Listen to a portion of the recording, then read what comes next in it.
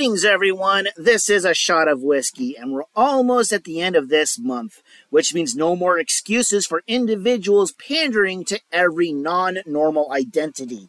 Yay! Well, with the possible exception of avoiding certain legal consequences. Anyway, this is the final part of my response series to the gutter trash video from the landfill outlet. And these questions are, surprisingly enough, kind of fun and somewhat comparable to various MGTOW talking points. Are you ready? Why is it that you have such a large dating pool? Because there are a lot more of us than you. Even looking at the highest estimated percentages of you alphabetians within a generation, which is about 33% of those among millennials, that would still mean that about 67% are not. I get that you're brainwashed leftist crybabies, but I'm pretty sure that y'all can figure out that 67 is a lot bigger than 33. And keep in mind, that's the highest generation based stat. As I mentioned, one third of millennials describe themselves as being LGBTQ 39%. 39%. It's three times the proportion identified among the combined older adults in the generation. The earlier ones have lower percentages, which means the differences are greater. This is basic math, but in defense to these paid clowns, basic English would point out that this question has not been completed. But still a really high divorce rate. Hmm? This is another case of there being two answers to one stupid question. First, we should point out that this video is nearly a decade old, coming out shortly after the Supreme Court made a decision that the left loves to abuse. As such, the subcategory of gay marriage was relatively new. According to a recently published article from Forbes, the average length of a marriage prior to divorce is eight years. Therefore, there was no stats to compare back in 2015. It was too new of a topic to make somewhat accurate comparisons. Now, nine years later, we have something. It's just what I always wanted. It's perfectly right. This paragraph is found on the Wikipedia page Divorce of Same Sex Couples. Pause here if you want to read this on your own. Nearly two years ago, Mediaite wrote an article regarding a study on this topic, and yes, I will provide a link to the entire article as well. I want to focus on two consecutive paragraphs real quick. This one brings up the study, pause here if you want to read, and the next one states that American stats are most likely about the same. Basically, the difference between gay and straight divorces is practically non existent, though perhaps with a slightly lesser number in favor of y'all. Of course, this also depends on which study one is looking at. However, separating the gays from the lesbians shows a much different picture. That lesbian marriages are far more likely to end in divorce before the eight year mark. I can't help but wonder if these useful idiots have come to this basic knowledge and what excuses they'd have for it. Yeah, that's not gonna happen, mate. This ties into the other point. The divorce rate is as high as it is because of feminism. Of course! Feminists made divorce easier to access and for any reason that women wanted. Feminism made divorce more beneficial for women than honoring the legal agreement that they signed. Feminism told women that having an affair was good for them and their marriage. Feminism told young women that being a slut is a good thing. Feminism tricked an entire generation into believing that men are useless and that women don't have to love their husbands. Why are straight divorce rates as high as they are? Because of feminism. Why do you cheat? When I feel like he gets bored. Because it's it's real marriage. Because it's heterosexual. Originally, marriage was a business arrangement, an investment into a family's future, often with a religious association tied to it. They were seldom about love, no matter how many fibs that magical mouse sells to our little girls.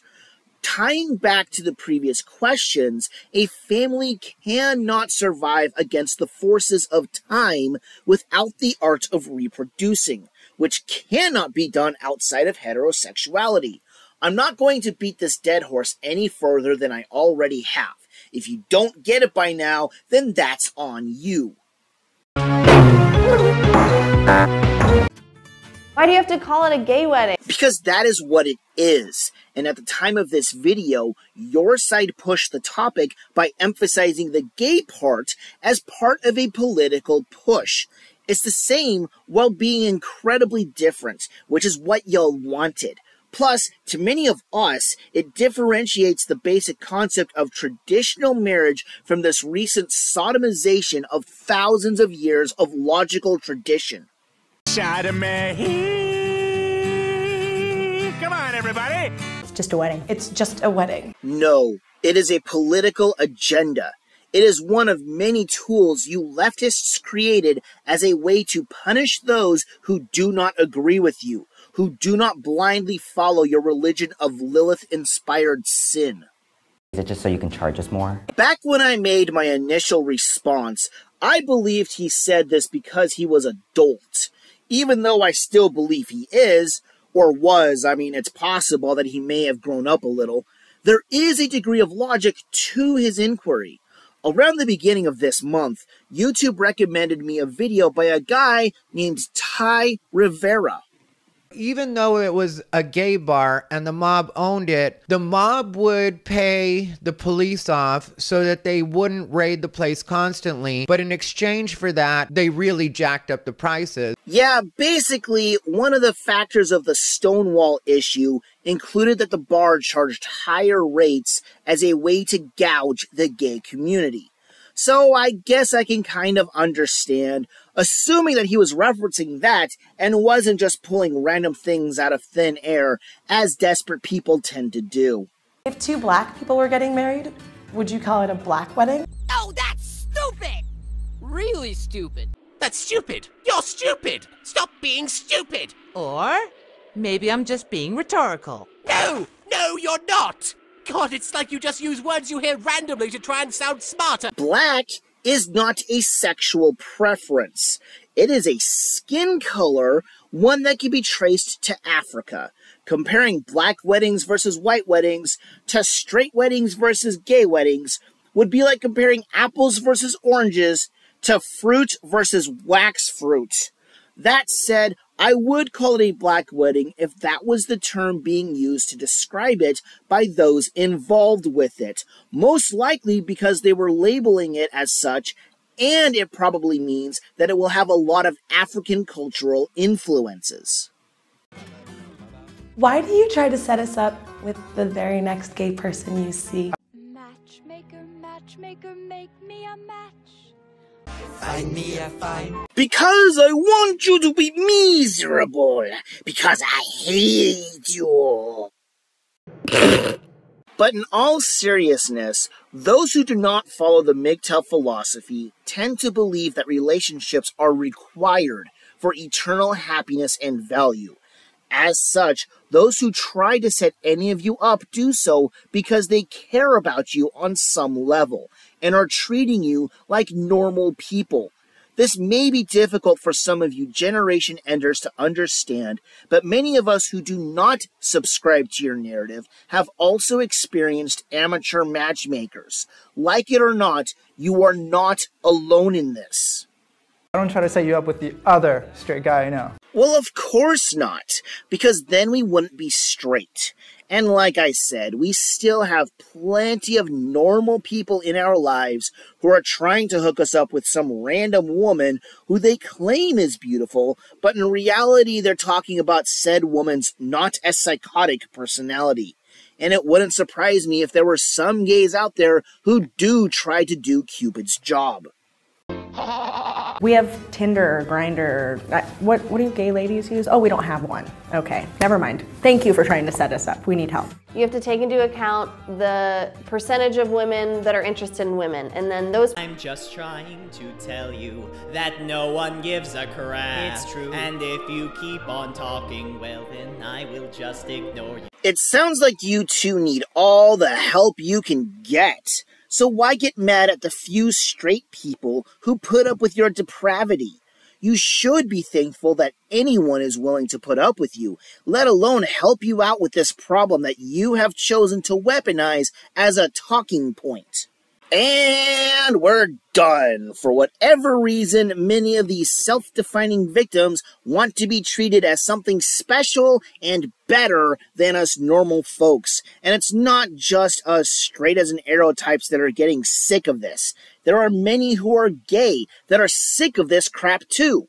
But I don't want to be treated like I'm special, especially not for something as trivial as my sexuality. I have no desire to be treated like I'm different when I feel perfectly normal. Some people might think that the pride parades encourage people to be more accepting of the community, but to be honest, I disagree. The only way you're going to reach normalcy is when you stop constantly highlighting the fact that you're different. This young lady, named Finding Sky, has a good head on her shoulders as far as I can tell. And yes, I will also provide a link to her video so that you can hear her entire 5 plus minute long argument if you want. Now that this is all finished, I'll take this time to say thanks for coming on this brief ride with me, gentlemen. I'm still intending on getting back into making shorter responses, kind of like what Ribby the Party Frog did before Brittany Venti's stupid simp fans tried to turn him into Cuisses de Grenouille. My apologies if I said that wrong, which I probably did. The point remains, that is my plan.